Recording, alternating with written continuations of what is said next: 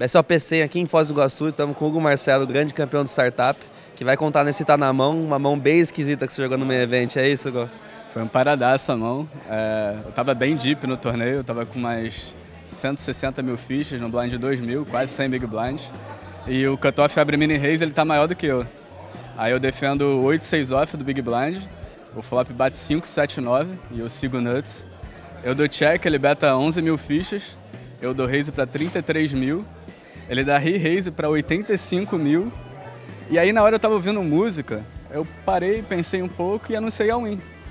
Aí no que eu anunciei a win, a Dilly olhou para ele e ele começou a pensar e tal. E aí, tipo, como ele já tinha dado um raise para 85 mil, eu achei que ele não ia foldar nada mais. Ela olhou para mim e apontou para as minhas fichas, tipo assim, coloca as fichas à frente. Só que eu entendi que ele tinha dado call e era para eu dar o showdown. Aí eu dei o showdown de 8-6. Só que olha que parada louca. A Dilly olhou para ele de novo, ele tava pensando, não olhou. Aí que eu vi que ele não tinha dado call ainda, aí eu muquei de novo as cartas, segurei de novo as cartas. A mesa toda tinha visto showdown, só ele que não. Aí ele ficou pensando, pensando, pensando, e falou: Ah, quer saber? Ah, qual?